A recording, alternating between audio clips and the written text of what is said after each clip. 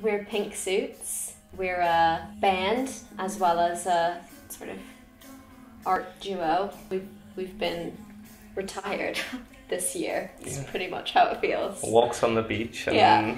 Lots of embroidery and reading.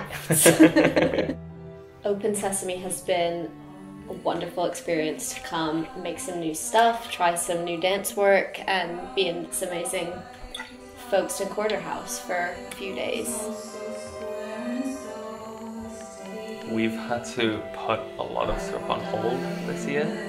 So this project is many months delayed. Our normal work is performing in clubs and cabaret nights and music gigs. So we've been doing bits of music and we made an album. So We don't still don't know exactly when it's coming, but it is.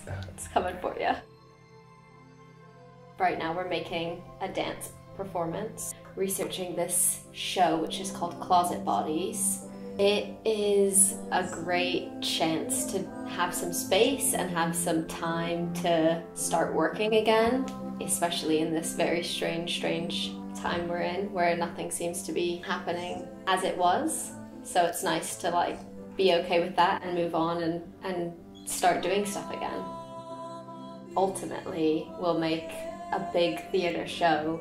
we're remaining optimistic that we're gonna Yeah. get in front of a full audience again. Hopefully, we'll be back when audiences are allowed back in the room. yeah.